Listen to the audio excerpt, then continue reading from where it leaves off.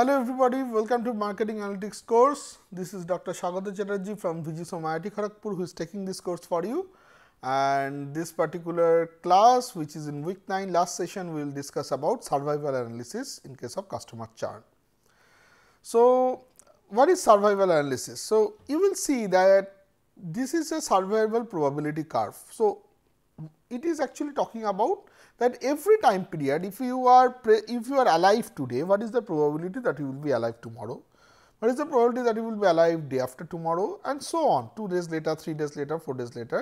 So how much is the probability that over a certain period of time your uh, you you will be alive? And and this is something which is important to know because certain times it is in the context of let us say uh, customer uh, lifetime calculation that what I will take as my customer lifetime this is something matters. So, survival probability you see that initially 80 percent of uh, guys survive beyond 7 years and then at this point which is the green point and the, uh, it is 50 percent of guys who is surviving after uh, 8 years. So, area under the curve is basically the expected survival time. So, if I can give you information like this that the probability the probability that you your you will your lifetime lifetime L is greater than t if I can give this particular probability that what is the probability that your lifetime will be greater than t. So, that is particularly this particular graph. So, that is that is something that I am giving and then t into this thing summation of that or in this case integration of that if by chance if it is uh, if it is uh, uh, continuous distribution that is basically the, your expected lifetime.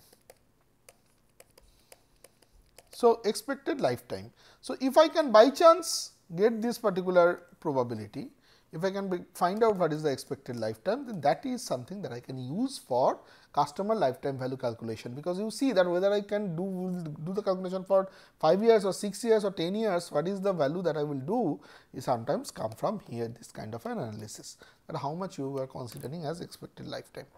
So, there are various other cases where these particular things apply. For example, it can also be applied that how much will be the time taken before you die if you have coronavirus let us say.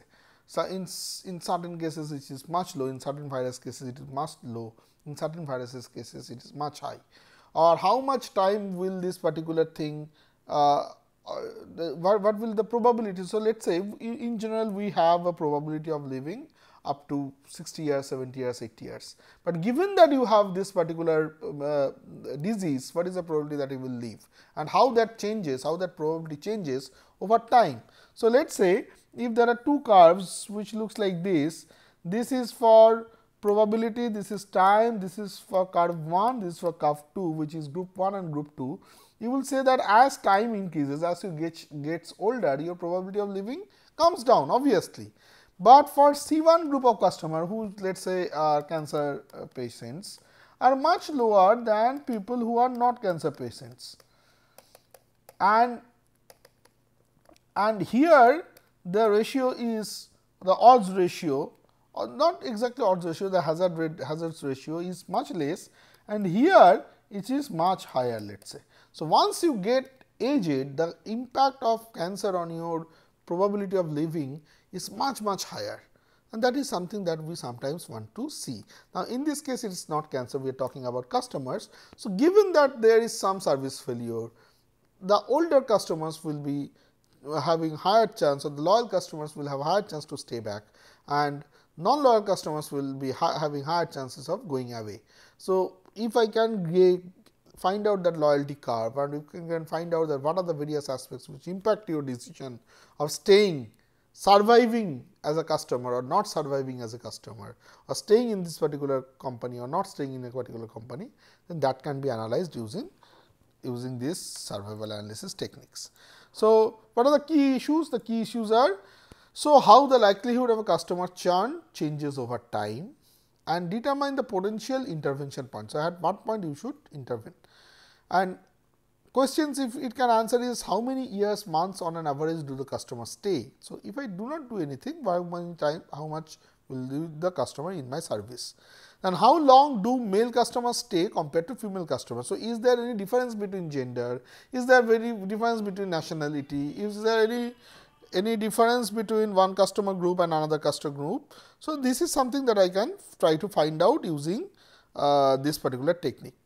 And is our understanding of customer life cycle accurate with reality? So, this is something that I can also try to find out that whether whatever we understand about the customer life cycle is this the case also. So, survival regression allows us to apply a model to the survivor's analysis to predict when an event is likely to occur. So, these are basic issues in which this particular analysis technique works. What are the key issues? What we can do with it? So, we can model the relationship between customer churn, time and other customer characteristics. This is something that we can do and we can also question answer this kind of questions that what is the probability that this customer who is a female non-senior citizen with dependents will stay for 2 years and what are the significant factors that drive churn? This kind of answers I can give. So, there are basically the lots of applications in telecommunication. This is a huge application. It has application in insurance, mortgage, mail order catalog, retail, uh, manufacturing and public sector. So, there are lots of places where it has a so for instance manufacturing it has a application is lifetime of machine components. In public sector it is time intervals to critical events. In retail time till food customer start purchasing non food and so on. Now, we have two estimation techniques one is Kaplan Meier which is very basic which says that the probability of staying back is nothing but the probability of leaving given that you have lived the first time. So, it is saying that every time period the factor that you will be living in time period 2 is independent of whatever was your probability that you will be living in time period 1. But so, switching. So, from time period 1 to time period 2, this switch will not depend on the probability of time period 0 to time period 1. So, that is something that they are saying that you will survive from time period 0 to time period 1 has no impact that you survive that you will time period 2 given time period 1. But it is also saying the maths is also saying that the probability if they are not independent then the probability that you will survive time period 2 is time period 0 to 1 into time period 1 to 2 fair enough. Probability of 1 is probability of 0 to 1 this transition stage transition probability of 3 in that case is probability of 0 to 1 into probability of 1 to 2 and then probability of 2 to 3 these state transitions. So, then probability of t is basically probability of t minus 1 into probability of t minus 1 to t this transition will happen. So, then if I go on doing this maths then probability of t is nothing but probability of t minus 1 into 1 minus dj by nj. What is dj? dj is number of deaths at that time period and nj is total number of people. So, that is what this particular formula is saying. If you check this formula, this formula is saying that that ST that your survival rate is nothing but survival rate at t minus 1 into 1 minus dj by n. So, that is the formula dj is number of death. So, this is the probability of being dead 1 minus that this is probability of being remaining alive. So, the probability that you remain alive up to j minus 1 j minus 1th time into jth time period's probability of remaining alive is the probability that you will be alive till jth time period fair enough.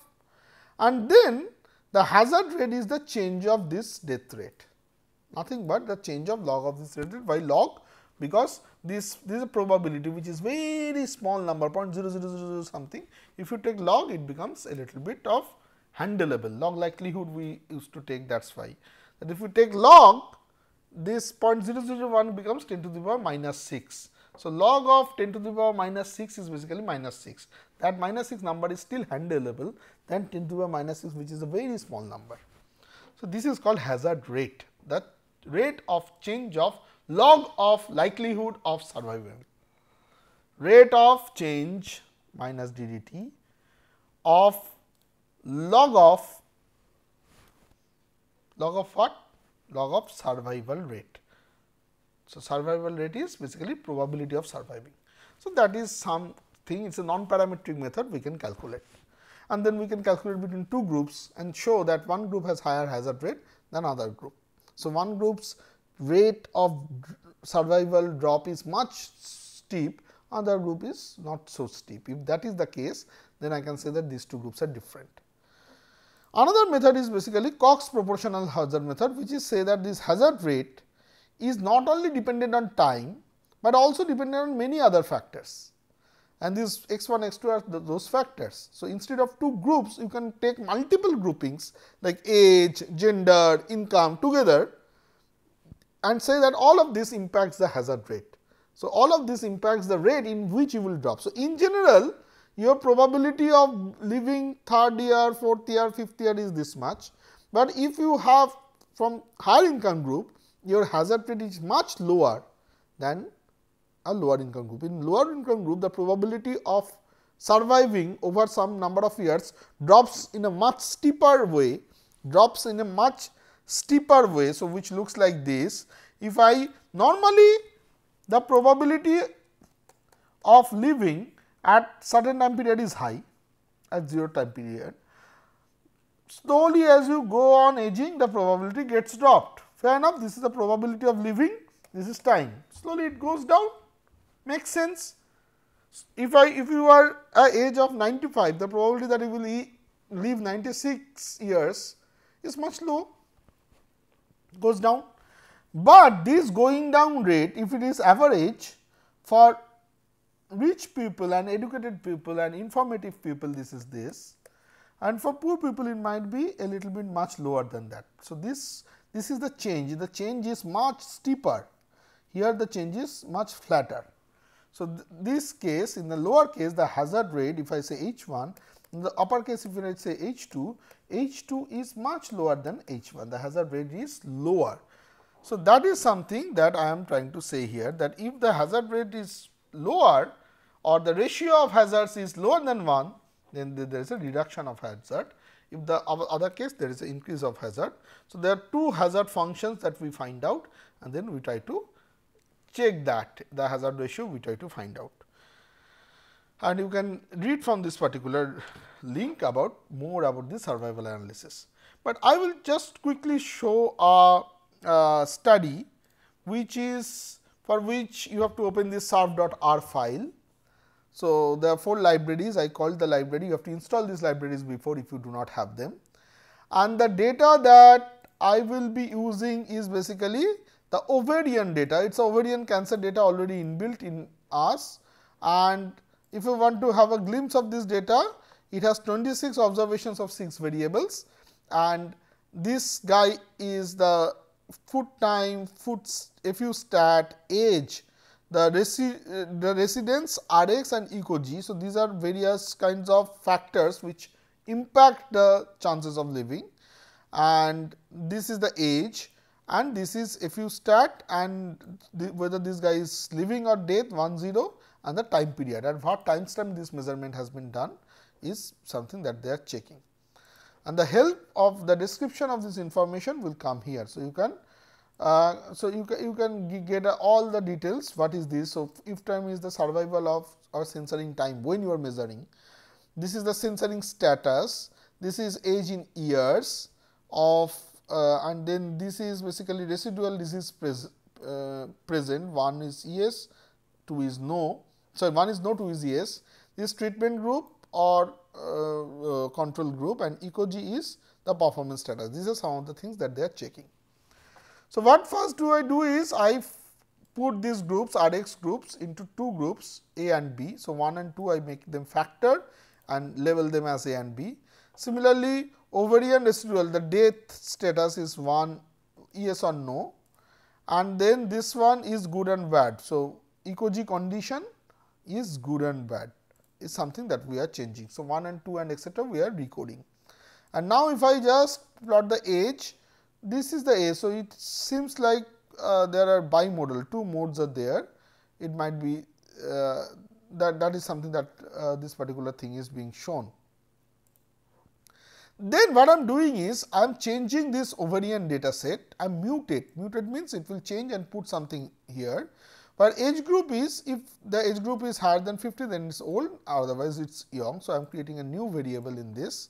So, which is basically ovarian age group which is old and new I have created and make them factor. Now, what I am doing?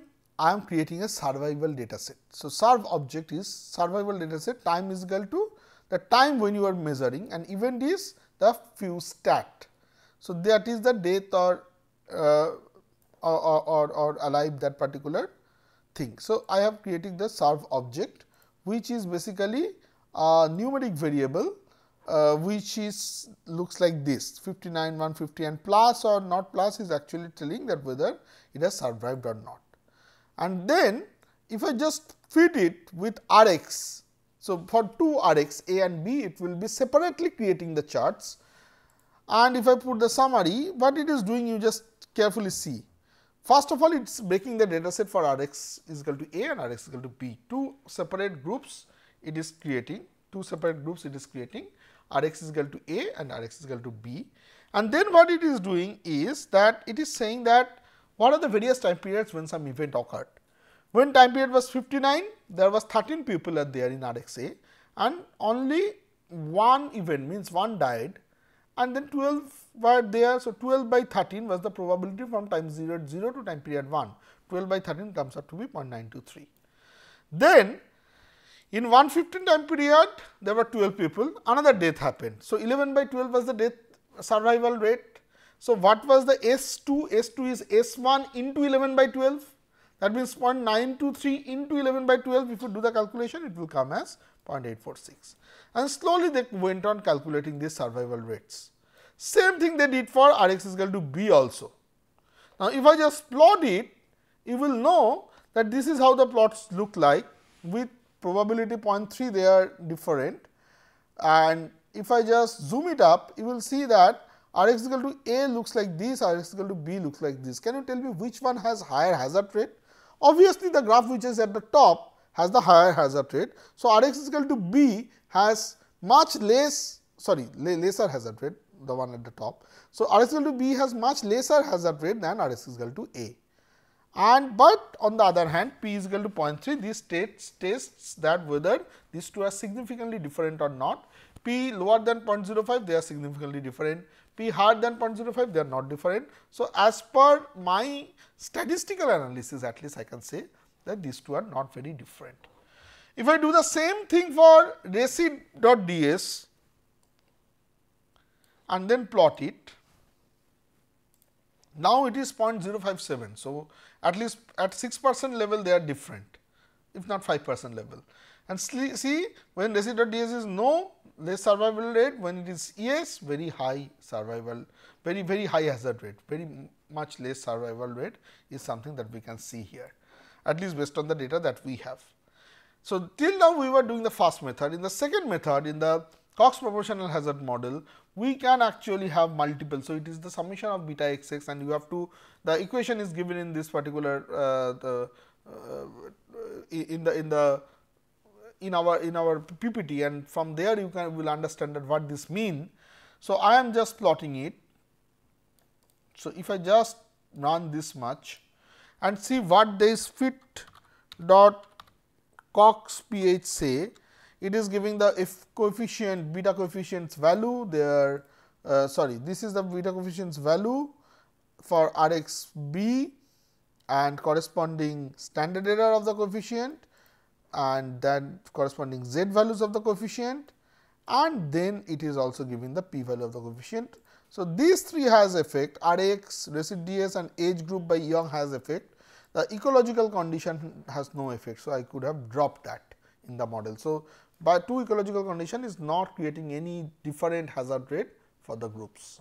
And if I just plot the ggforest, this is how it looks like you would see that x A and B, when I am saying R x A and R x B, two groups, this guy has, uh, if keeping this as reference, the hazard ratio is 0.25 and significant level is 0.032. So, this is significant.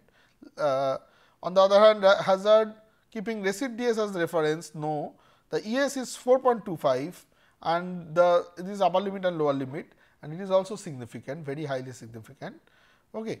And then if I say that old, uh, this so, so that means here I am saying that the group B 0.25 means hazard ratio less than 1, less than 1 means group B is less uh, affected. I would say the, keeping everything else constant, group B will have lower hazard ratio than group A. How much lower? 4 times lower I would say. So, ratio will be 1 by 4 and that is significant and here it is 4.25 by 1 and that is also significant. Here it is 0.1 by 0.11 means basically uh, this ratio means 1 by 9. So, the young people has much less hazard ratio than old people. I am not giving this example in the context of uh, in the context of uh, our uh, customer behavior, but similar data you can create from the customer behavior also. And for ECOG, the bad is 1.8 means by chance this ECOG is bad, you will have 1.8 times hazard ratio than when it is good, but this is not significant. So, I can probably ignore this result. I can I have to consider this result, this result and this result because in all the cases this is lower than 0.05, but in this case I can probably ignore. So, that is how we can create survival analysis. This is highly applicable in checking that how much time a customer will be staying with me or how much time I can when I can do the intervention, which kind of intervention reduces the hazard rate. So, like here we are saying that whether Rx or age or something else is impacting the hazard rate. You could have seen that let us say if in if customer lifetime is your uh, value that we are checking and every time period after 2 months, 3 months, 5 months, 6 months whether the customer were there with you 1 or 0 that was your hazard rate calculation. Then you could have find out that what impacts your hazard rate. You did some intervention in January, the customer is still alive on September, you did another intervention on May, you, this is also staying back in September, which one has an impact? The intervention in January or intervention in May? Which one actually made the customer to stay back? You do not know until unless you do this Cox analysis. So, Cox hazard model analysis. So, that is how we can also find out that how to calculate exactly the customer lifetime and how to increase customer lifetime. One is churn management, but churn is an immediate management. Sometimes you have to do something much uh, ago so that the lifetime increases. So, how to do that, which one will impact, which one will not impact can be done using Cox proportional hazards model. You can try out for other customer data. You can try out a churn data uh, from, from your uh, customer databases and try out whether that can be applicable here. So, that is where I will uh, stop week 9.